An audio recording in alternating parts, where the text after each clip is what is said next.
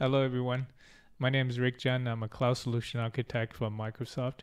There's a very interesting feature in Azure Security Center called Just-in-Time VM Access. In today's video, we're going to show you how you can use Azure function to automate the process.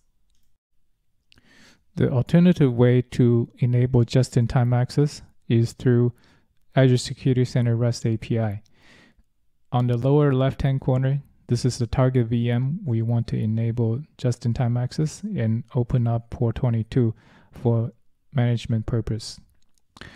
In this solution, we're going to create an Azure Function app with proper identity and custom RBAC role assigned in order to make REST API calls to Azure Security Center. This solution is based on my GitHub repo. Uh, you can clone this repo and you will find all the necessary uh, resources in this repo. First, let's head to the Azure portal and create user, user assign managed identity, the function app, and we're going to assign a custom RBAC role. After you have created the user identity, take a note of the client ID as well as the object ID.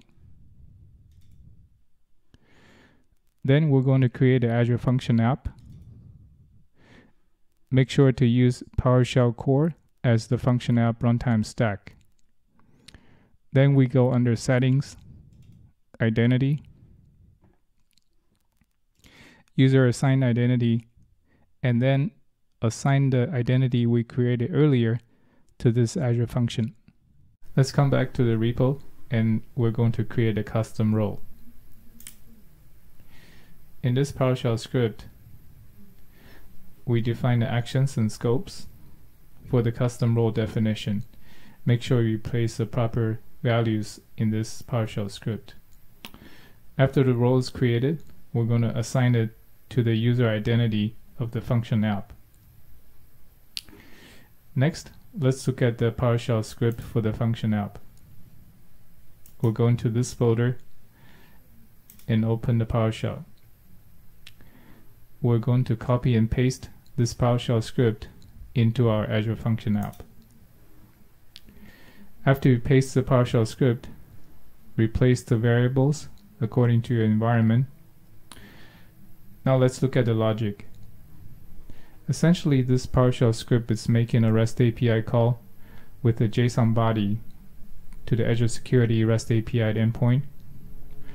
First, we need to obtain an access token, and then create a JSON body.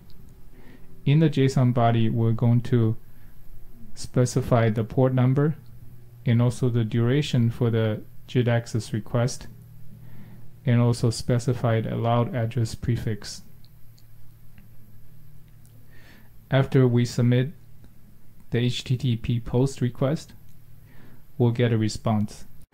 Here's the response after the function app has been triggered. Then we'll go into the activity log for the just-in-time access. You can see the request is a success. Now let's verify that in the virtual machine's NSG rule. So here you can see a new NSG rule being added by Azure Security Center to allow port 22 access from source IP to destination IP. Hope you enjoyed the video. In today's video, we have learned how to use Azure Role Basis Access Control, assign a user assign managed identity to an Azure function that will help us automate the process of requesting just-in-time VM access in Azure Security Center. All right, thanks for watching.